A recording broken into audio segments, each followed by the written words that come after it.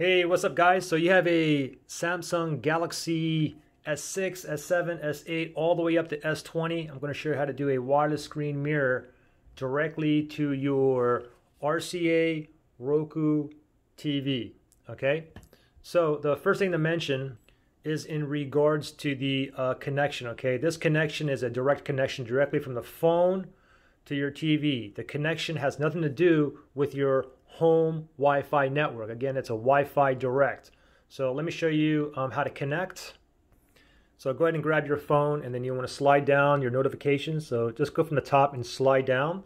You see a little horizontal line right here. Slide down again. And then from here, what you want to look for is Smart View. Mine is right here. However, yours might be over here or over onto the next page as well. Okay, anyway, Smart View is here. Samsung calls Screen Mirror Smart View.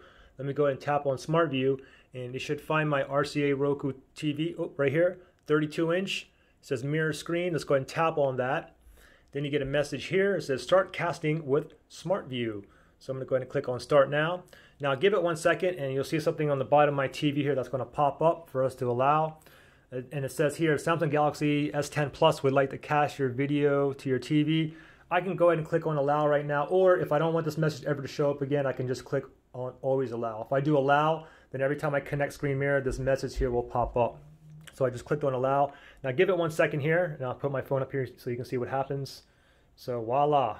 So we're actually in business right now and that thing on the bottom will disappear right there. Now you can see that it is like a little bit delayed. It's not like 100%.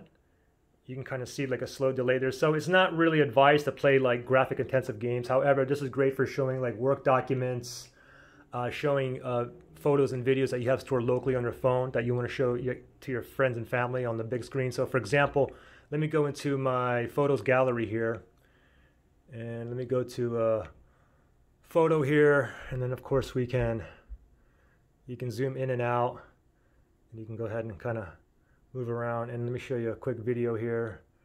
Here's a video. I'll press on play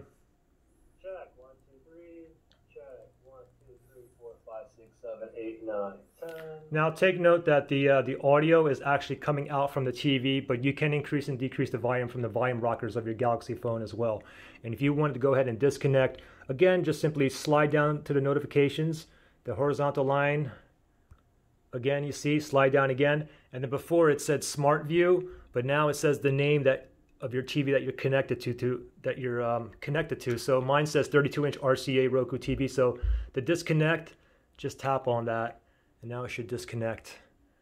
There we go. You just disconnected. Pretty simple